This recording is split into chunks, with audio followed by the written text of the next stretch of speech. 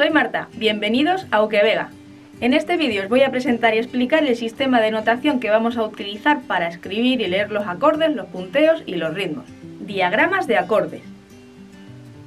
Los acordes los vamos a ver representados en estos diagramas a los que también podemos llamar cajas de acordes. La posición de las cuerdas en la caja será de esta forma, empezando por la izquierda, está la cuarta cuerda, la siguiente es la tercera, esta es la segunda y la situada más hacia la derecha es la primera.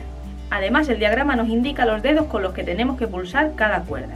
Si recordáis, lo comenté en el tercer vídeo de este nivel. Si yo quiero poner el acorde de Do mayor, que es este que indica el diagrama, tengo que fijarme en la cuerda que tengo que pulsar, que es la primera, y a su vez también el dedo que debo utilizar, que es el tercero. Así tendría el acorde de Do mayor que está escrito en este diagrama. Probad a poner estos otros dos acordes que os pongo aquí, el Re mayor y el de Sol mayor.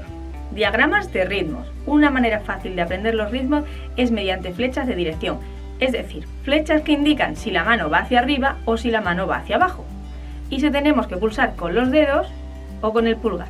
Aunque más adelante vamos a ver otros efectos que se pueden conseguir con el rasgueado de la mano derecha.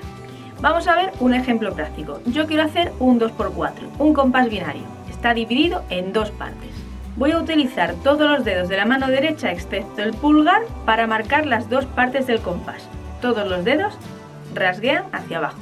1, 2, 1, 2, 1, 2.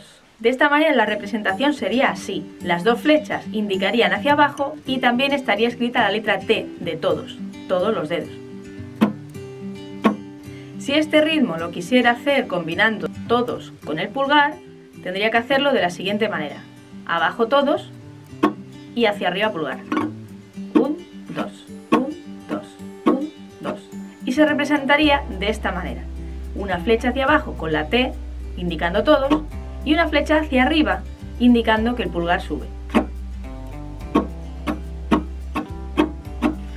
Vamos a ver cómo aprendemos las canciones.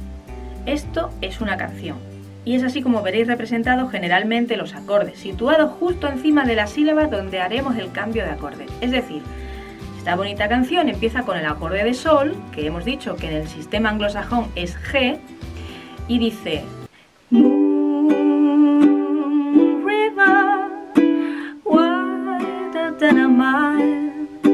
I'm crossing you in a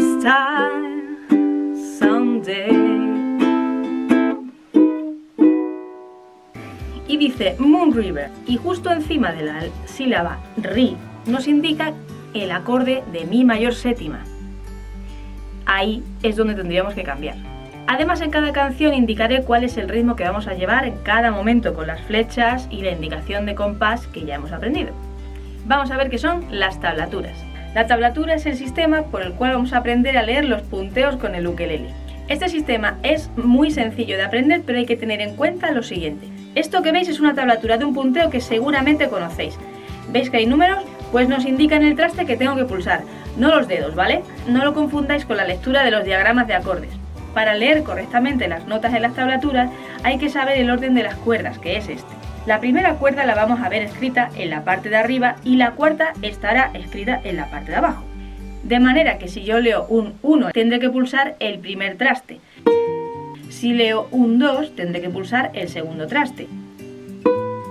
Si leo un 5 pulsaré sobre el 5 si leo un 7, pues pulsaré sobre el 7. Y ya hemos terminado el nivel básico en el que os he resumido las bases sobre las que vamos a trabajar con el ukelele. Si tenéis cualquier duda, he abierto en la web un foro donde podéis compartir las vuestras, así como cualquier sugerencia. Y nada más, hasta aquí el vídeo de hoy. Os espero en el siguiente nivel. Sleep bye!